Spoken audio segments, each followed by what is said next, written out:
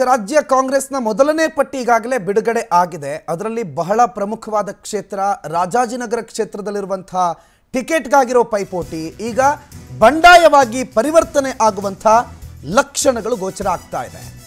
ರಾಜಾಜಿನಗರ ಕ್ಷೇತ್ರದಲ್ಲಿ ಕಾಂಗ್ರೆಸ್ಗೆ ಬಂಡಾಯದ ಬಿಸಿ ತಟ್ಟೋ ಸಾಧ್ಯತೆ ಇದೆ. ಬಹುತೇಕ ಪುಟ್ರಾಜೋರನ್ನ ಕಣಕ್ಕಿಳಿಸಬೇಕು ಅಂತ ಹೇಳಿ ಅವರಿಗೆ ಭರವಸೆ ನೀಡಿದ್ರು ಕಾಂಗ್ರೆಸ್ ನಾಯಕರು. ನಿಮಗೆ ಟಿಕೆಟ್ ಅಂತ ಹೇಳಿದ್ರು. ಆದರೆ ಕೊನೆ ಕ್ಷಣದಲ್ಲಿ ಪುಟ್ಟಣ್ಣ ಅವರ ಆಗಮನದಿಂದಾಗಿ ರಾಜಾಜಿನಗರ ಕ್ಷೇತ್ರದ ಟಿಕೆಟ್ ಪುಟ್ಟಣ್ಣ ಅವರಿಗೆ ಲಭಿಸ್ತು. ಹಾಗಾಗಿ ಬಂಡಾಯ ಅಭ್ಯರ್ಥಿಯಾಗಿ ಕಣಕ್ಕಿಳುವ ವಿಚಾರಕ್ಕೆ ಸಂಬಂಧಪಟ್ಟ ಹಾಗೆ ಪುಟ್ಟರಾಜು ಅವರ ಬಹಳ ಆತ್ಮೀಯ ಬಳಗ ಇವತ್ತು ಸಂಜೆ ಸಭೆಯನ್ನು ಕೈಗೊಂಡಿದೆ. ಸಭೆಯ ಬಳಿಕ ಅಂತಿಮ ತೀರ್ಮಾನವನ್ನು ತಿಳಿಸಲಾಗುತ್ತೆ. ಬಹಳ ಒಂದೂವರೆ ವರ್ಷದಿಂದ ತಾನೇ ಈ ಕ್ಷೇತ್ರದ ಮುಂದಿನ ಎಂ ಅಭ್ಯರ್ಥಿ ಅಂತ ಹೇಳಿ ಬಹಳ ಕೆಲಸಗಳನ್ನು ಮಾಡಿದರು. ಕೆಪಿಸಿಸಿ ಅಧ್ಯಕ್ಷರ ಸೂಚನೆ ಮೇರೆಗೆ ಒಂದೂವರೆ ವರ್ಷ ಸತತವಾಗಿ ರಾಜಾಜಿನಗರ ಕ್ಷೇತ್ರ ಫ್ರೀಡಮ್ ಆಪ್ ಅಲ್ಲಿ ಕಲ್ತು ಹ್ಯಾಂಡ್ ಬ್ಯಾಗ್ ತಯಾರಿ ಮಾಡ್ತಿದ್ದೀರಾ? ಹಾಗಾದ್ರೆ ನಿಮ್ಮ ಬ್ಯಾಗ್ ಗಳನ್ನ ಒಂದು ಕೋಟಿಗೂ ಹೆಚ್ಚು ಫ್ರೀಡಮ್ ಆಪ್ ಬಳಕೆದಾರರಿಗೆ ಯಾವುದೇ ಖರ್ಚಿಲ್ಲದೆ ಮಾರಾಟ ಮಾಡಿ. ಕ್ಷೇತ್ರದಲ್ಲಿ ಓಡಾಟವನ್ನು ಮಾಡಿದ್ರು. ಒಂದು ರೀತಿ ಪರೋಕ್ಷ ಪ್ರಚಾರ ಕಾರ್ಯಗಳನ್ನು ಮಾಡ್ತಾ ಇದ್ರು.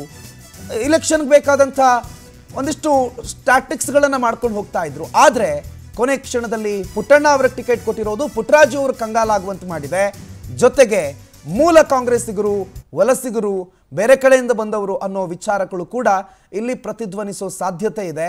ಹಾಗಾಗಿ ಇವತ್ತು ಸಂಜೆ ನಡೆಯುವಂತಹ ಪುಟ್ಟರಾಜು ಅವರ ಆಪ್ತ ಬಳಗದ ಒಂದು ಸಭೆ, ಒಂದು ಅನ್ಅಫಿಷಿಯಲ್ ಮೀಟಿಂಗ್ ಆ ಮೀಟಿಂಗ್ನಲ್ಲಿ ಪುಟ್ಟರಾಜು ಅವರು ಅವರ ಬಳಗಕ್ಕೆ ಕೇಳ್ತಾರೆ, ಏನು ಮಾಡೋದು, ಮುಂದೆ ಏನು ಏನು ಮಾಡಿದ್ರೆ ಅವಕಾಶ ಇದೆ, ಯಾರ್ಯಾರ ಬೆಂಬಲ ಇದೆ ಅನ್ನೋ ವಿಚಾರಕ್ಕೆ. ಅದಾದ ಮೇಲೆ ಬಂಡಾಯ ಅಭ್ಯರ್ಥಿಯಾಗಿ ಸ್ಪರ್ಧೆ ಮಾಡ್ತಾರಾ?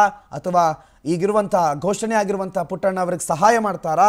ಅವ್ರ ಜೊತೆ ಚುನಾವಣಾ ಪ್ರಚಾರಕ್ಕೆ ಇಳಿತಾರಾ ಕಾದ್ ನೋಡಬೇಕಿದೆ, ಆದರೆ ಟಿಕೆಟ್ ವಿಚಾರ ಕಾಂಗ್ರೆಸ್ನಲ್ಲಿ ಇನ್ನೂ ಕೂಡ ಗೊಂದಲದ ಗೂಡಾಗೆ ಉಳ್ಕೊಂಡಿದೆ ಅನ್ನೋದಕ್ಕೆ ಮತ್ತೊಂದು ಸಾಕ್ಷಿ ಸಿಕ್ಕಿದೆ.